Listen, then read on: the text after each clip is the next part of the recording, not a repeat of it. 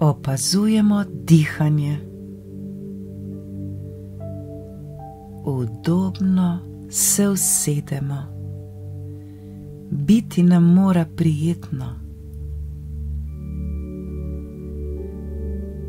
Pripravimo se na opazovanje dihanja. Naše dihanje je tisto, ki je vedno z nami. Je naš zvesti prijatelj, ki nas spremlja vse povsod.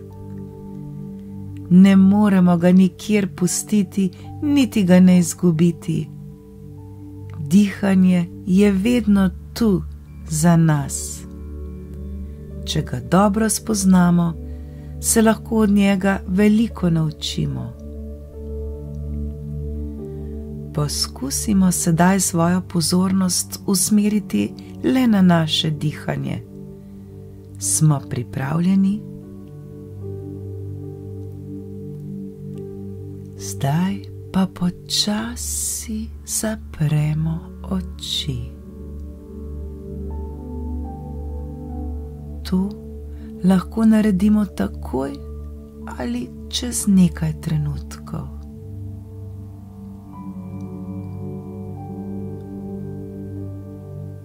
Naše oči so sedaj zaprte.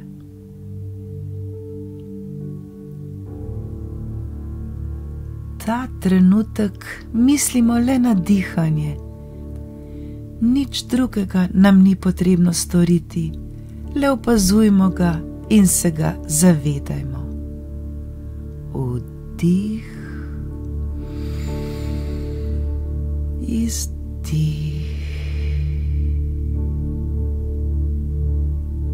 V svojih mislih pomislimo,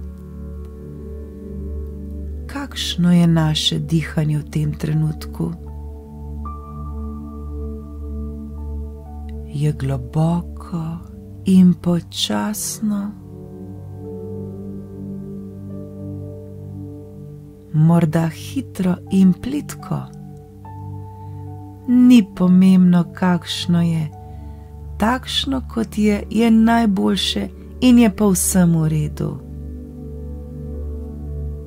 Mogoče težko mislimo le na dihanje, saj nam naše misli begajo sem ter tja ali pa nas morda motijo zunani zvoki okoli nas.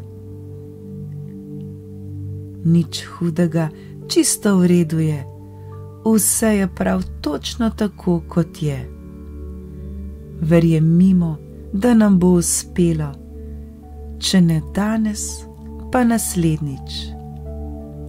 Saj veste, vaja dela mojstra.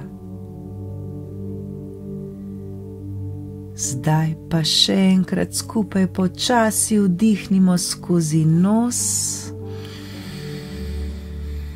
in izdihnimo skozi usta, ter pri tem štejmo do tri. Vdih, City in City in City in City in City and and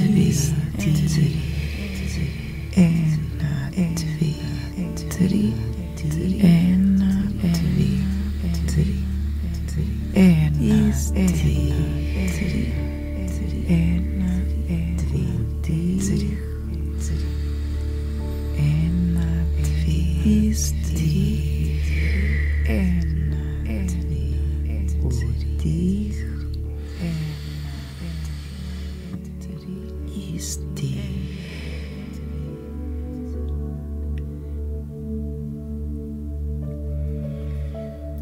Bravo, super ste bili.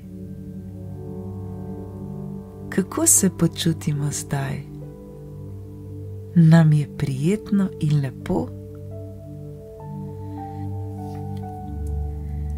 Zdaj se počasi pretegnimo, z rokami si umijemo obraz, pomanemo si oči in jih počasi odpremo.